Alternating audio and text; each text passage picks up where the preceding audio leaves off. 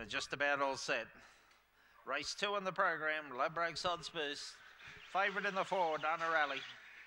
Set, racing. Crump's Little Angel come out nicely on the inside. Wanted to get up the track and caused a bit of interference. Leads by two through the pen. Big Bad Amy sitting into second. Then getting around them would have been Mr. Stabler. Back on the inside, Typhoon Tabitha. Further back came Jurima Nitro. Well back Dana Caddy with Dana Rally. And back there with it was Crump's Hustler. Up on the corner, the leader, Crump's Little Angel. Big Bad Amy getting up underneath it. Goes to the front. Coming again, Crump's Little Angel. Put the head down. Got there. Crump's Little Angel got up to win on the line of over Big Bad Amy. Third would have been Jurima Nitro. Further back there, Mr. Stabler, followed by Typhoon Tabitha. The others in trouble early, Dana Caddy and Dana Rally back with Crump's Hustler. Winner number one, Crump's Little Angel by Crump out of Insider Trader. Owned and trained by Michael Holgate of Blayney.